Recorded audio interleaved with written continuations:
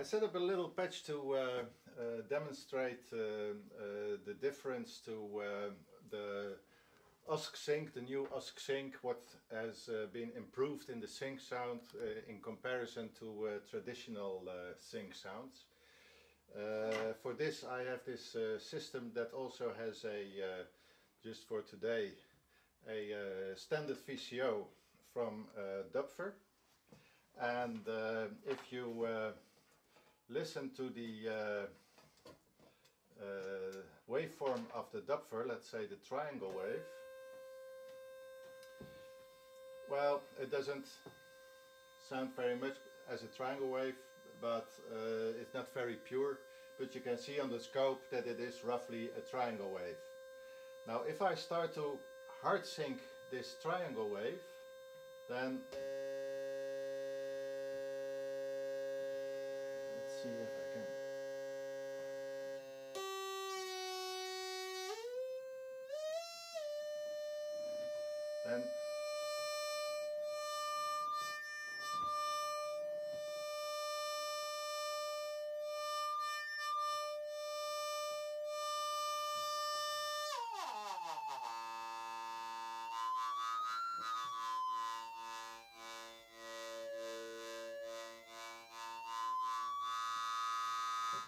then you can hear that the sync sound basically has two components in the sound. One component sounds like a strong flanging effect and the other component is basically this uh, flank that you see.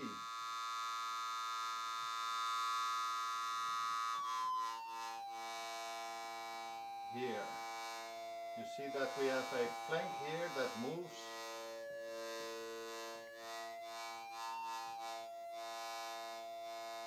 When the flank is very small, the sound is pretty clean, but the moment when this flank gains in level, then uh, the sound becomes uh, very uh, unstable. So if we have a sweep, then hard sync on a, on a triangle wave really doesn't sound that very good. If we try the sine output from the uh, uh, it gets even worse because sometimes you have a very mellow sound and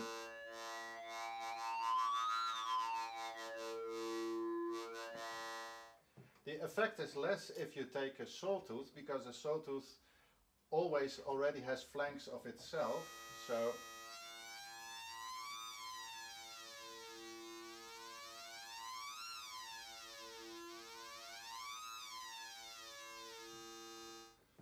there is a uh, less apparent effect of that uh, flank and you hear more of this uh, flanging kind of sound.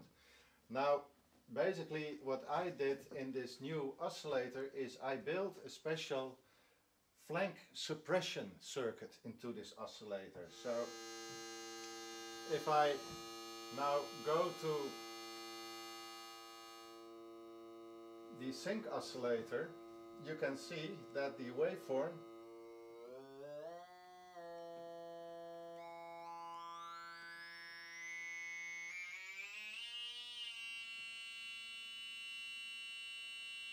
that the flank is suppressed. So we have a very pure flanging effect but not the effect from the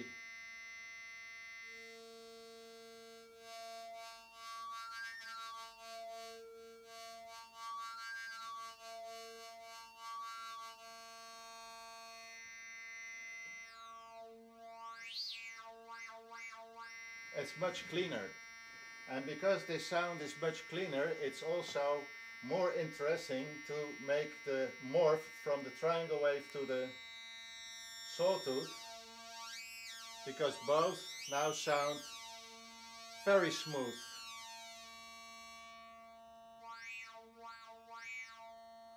So this short demonstration is just to explain some of the technical improvements that have been made in this sync oscillator to get a nice and clean sync sound.